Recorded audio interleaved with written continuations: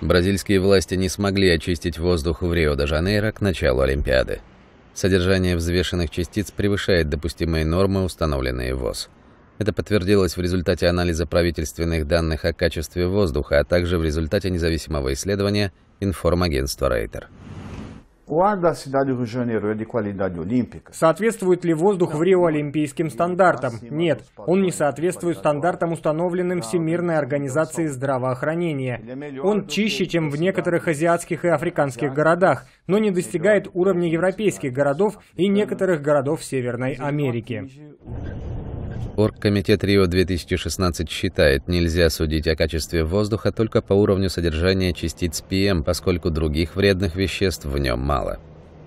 Однако специалисты говорят, взвешенные частицы наиболее опасные для здоровья человека по сравнению с другими вредными веществами.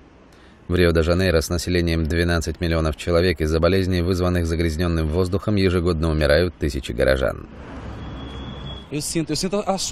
Я чувствую эту пыль от строительных работ. Она в воздухе и на моем теле. Это ужасно. Так много говорят о повышении качества воздуха. Мы слышим это часто, но ничего не меняется. Олимпиада закончится и хаос вернется. Ничего не изменится к лучшему. Исследования, проводимые с 2008 года, показывают, что содержание частиц PM10 в воздухе Рио-де-Жанейро в 2-3 раза систематически превышало норму, установленную ВОЗ. Между тем, агентство Рейтер провело тесты на содержание в воздухе взвешенных частиц PM2,5.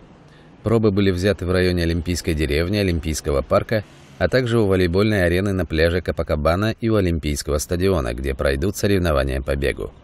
Результаты также показали повышенное содержание этих частиц.